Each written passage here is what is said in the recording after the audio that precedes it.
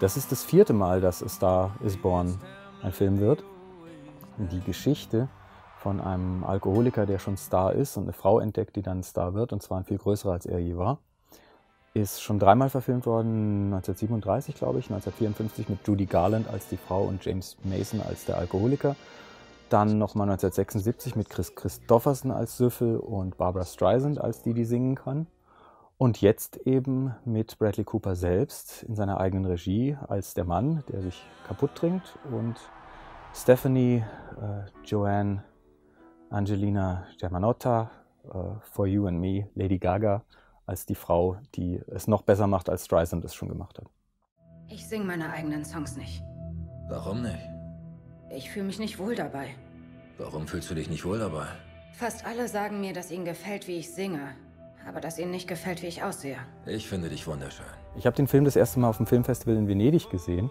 Und zwar als so eine Art Nachmittags-Zerstreuprogramm, weil man dachte, hey, Bradley Cooper, totaler Klassiker, Lady Gaga, das wird bestenfalls schräg und schlimmstenfalls super peinlich. Und das war der Nachmittag, an dem man die ganze Zeit in Venedig Filmkritikerinnen und Filmkritiker getroffen haben, die so mit halb vorgehaltener Hand gesagt haben, liegt das jetzt an mir, liegt das an der Sonne, liegt das am Alkohol oder war das wirklich wahnsinnig gut? Und die Antwort, auf die ich mich inzwischen eingependelt habe, ist, es war wirklich wahnsinnig gut und es ist wahnsinnig gut und man muss da reingehen. Weißt du, Mann, früher da war ich mir immer sicher, dass aus dir mal was wird, dass es dir gut gehen wird. Jetzt mache ich mir zum ersten Mal Sorgen um dich.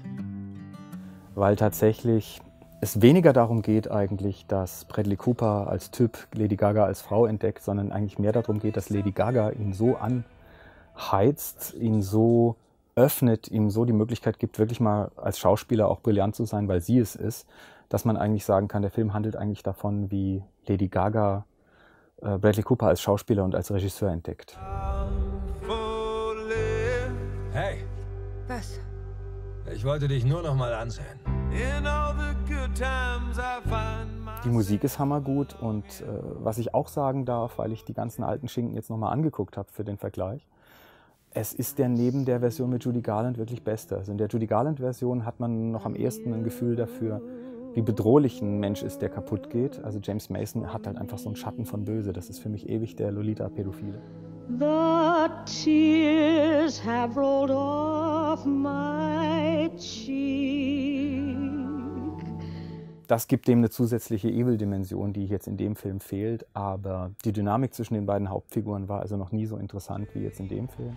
Wir machen das jetzt so. Du singst den Song, den ich so toll finde. Nein, das kann ich nicht. Aus Jetzt komm schon, na los. Bitte, das ist nicht witzig. Jack, Sieh mich an. Du musst mir einfach nur vertrauen. Es ist so viel Care da drin, es ist so viel Sorgfalt da drin, es ist irgendwie eine Überlegung drin.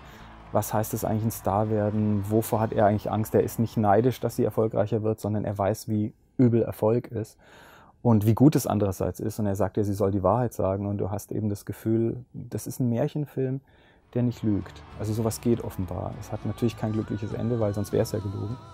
Aber äh, wenn man so Prinzen- und Prinzessinnen-Geschichten eigentlich ganz gerne mag, aber halt nicht angeschmiert werden will, dann muss man das angucken.